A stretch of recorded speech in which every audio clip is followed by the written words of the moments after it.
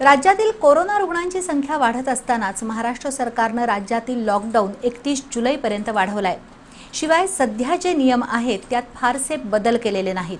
किंबहुना ज्या शहरांमध्ये कोरोना बाधितांची संख्या झपाट्यानं वाढतीये त्या शहरांमध्ये पुन्हा एकदा शंभर टक्के लॉकडाऊन करण्याचा शासनाचा विचार आहे.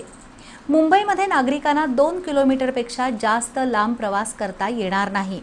अत्यावश्यक सेवा किंवा नोकरीसाठी जाणाऱ्यांना या नियमातून सूट देण्यात आली आहे.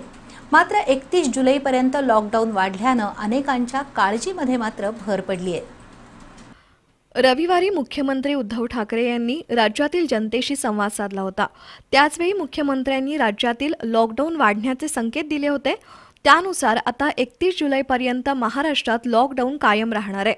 कोरोना रुग्णांची संख्या झपाट्यानं वाढत असल्यानं राज्य सरकारनं आज हा निर्णय जाहीर केला.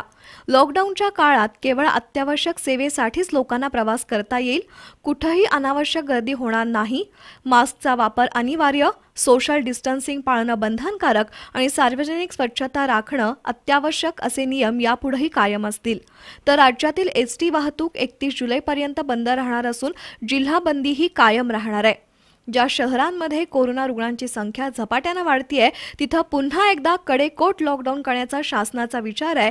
तर मुंबई महानगरपालिका परिसरात अत्यावश्यक सेवेतील आणि नोकरीसाठी कार्यालयात जाण्यासाठीच दूरचा प्रवास करता येईल. सर्वसामान्य नागरिकांनी दोन किलोमीटरपेक्षा जास्त प्रवास करू नये अशी अपेक्षा आहे. गेल्या चोवीस तासात राज्यात पाच हजार चारशे त्र्याण्णव रुग्णांची भर पडल्यानं राज्य शासन पुन्हा एकदा हाय अलर्ट बनलंय. दरम्यान राज्य सरकारनं लॉकडाऊन एकतीस जुलैपर्यंत वाढवल्यानंतर कोल्हापूर जिल्ह्यात प्रशासनाकडून कोणते निर्बंध शिथिल होतील किंवा अधिक कठोर होतील याबाबत उत्सुकता वाढली आहे